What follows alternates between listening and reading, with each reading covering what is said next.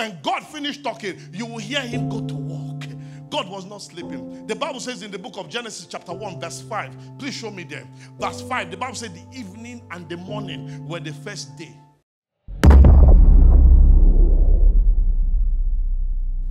Now, verse 8, the Bible said the evening and the morning were the second day. You will now see in verse 13, the evening and the morning were the third day. You see verse 19, the evening and the morning were the fourth day. You see verse 23, the evening and the morning were the fifth day. Verse 31, the evening and the morning were the sixth day. You will never read in the Bible that the morning and the evening. You read the evening and the morning. Productivity starts at night, implementation is in the daytime.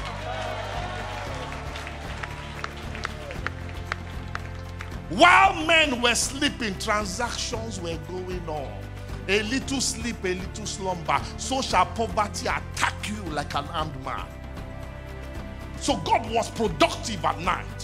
God was walking. He will remove his, his kaftan and wear his jeans, his timberland boots, fold it up, and begin to set all the all the firmaments, every single thing in place. Second Peter chapter 3, verse 8. The Bible says that a day before the Lord is as a thousand years. A day before the Lord is as a thousand years. So when you hear a day, it's actually a thousand years. And if he did it for six days, take it from me, like 6,000 years, day and night, God was working. So when you come and tell me that you want to go and live after three months, I know there's something wrong with your medulla oblongata. Genesis chapter 2, verse 2. The Bible says, and God rested after he has finished. You are not permitted to rest until you have finished. Because in life there is a cycle. Between the ages of 0 to 6 are foundation, are, innocent years. A child of 5 years or 6 years old go run naked for road up and down. Nobody said that. He don't care. Once you get to 7 to 12 years old, it's a foundation year. You begin to learn how to speak your language, begin to communicate, begin to speak English, begin to do anything, communicate. When you get to 13 to 19, you begin to aspire.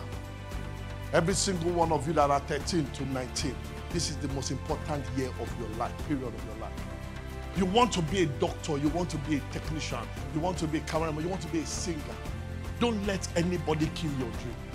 Because when they kill your dream and then they force you to study law, what happens is that when you graduate as a lawyer, you will drop that law and come and carry that mic and sing your song.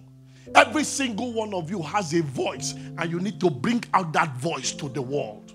When you get to 20, it's a very important year. Because if you are 20 years old, it is your decision year.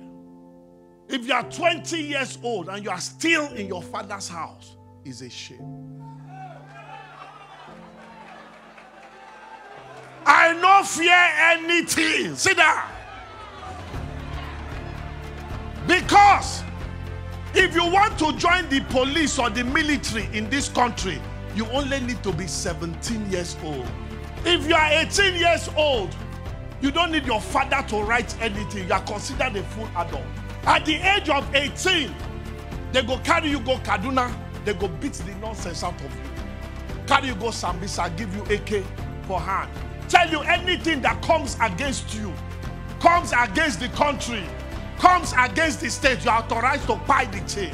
At the age of 18, if Nigerian government can trust you with a gun and life administration, administration at the age of 18, why can't you be rich at the age of 18? I came here to provoke you to be rich. I am tired of seeing young men poor. I'm tired.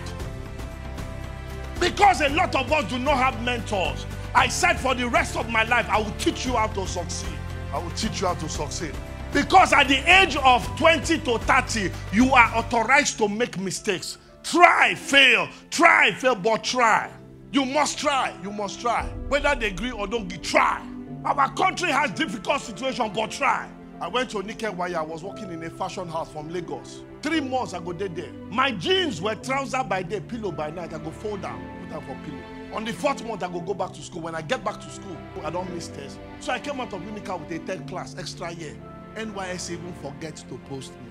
I was considered a failure by my family until they did not give me a chance, but I tried and I came out. Because when you get to 30 years old, people are gonna look at you, they call you uncle, auntie. Because you are 30 years old. At the age of 30, you should be an expert at what you do. The only way to predict your future is for you to create it. There are young people here that are successful. I have a friend in Umuahia, 19 year old boy. His father abused him that he was using phone to do Twitter. The boy took his phone. He went to his friend's shop that was doing Gucci, selling belts. He took the picture of a Gucci belt and posted it on OLX. He told them that it's 8,000 naira. The cost is actually uh, 4,000. Somebody said, I'll buy it. He got there. He collected money from his father, got the belt, got the money, returned the 4,000. He made money. He began to sell on OLX. I asked him, How much do you make now? He said, On a bad day, I make 200,000 naira a day. In 30 days, that's 6 million. 22 year old boy. You are not too young to be rich. Can somebody show me anywhere where the Bible says that and God was an employee of a Dirichukwu Transport? He was an employer. Genesis 1 1. In the beginning, God created. When He created you, He created you to become a co creator. Yes, you may be working for somebody, you are there to learn, study, to show. There is a part of your life you must show. Show yourself approved after you have been tested and tried. A man rightly dividing. What are you made of? When God put man, the next thing he said, have dominion. It was not an advice, it was a command. God is not advising you to be rich. He commanded you. Your poverty is an insult to God. I expect you to get angry to find out how do you become independent now. Between the ages of 13 to 19, you should be training yourself to win, to dominate the market, to win, to dominate the market. So that by 20, you can take a decision. Tradition has held our boys and our women down. Stay in your house till they're 30, till they're 35 years old. Then, when a man stays till 30 years old, what do you want the man to do? Because when cement has gotten dry, it becomes set. It becomes set. Stay with me, stay with me. It becomes set. It becomes set. The problem with Africa, Nigeria, River State is free food. Because anybody that gives you free food stops you from thinking. And when they stop you from thinking, they stop you from productivity. God had given them manna that they lost their manners before God. It had to take God to kill that whole generation, except Joshua and Caleb. Joshua chapter 1, verse 1 says, Now, after the death of Moses, tradition has got to die. You need to kill it. Joshua, lead my people. Joshua chapter 2, verse 1. The Bible says, And Joshua sent out two boys to go and spy the land. God will not give you a new instruction until you do the last one.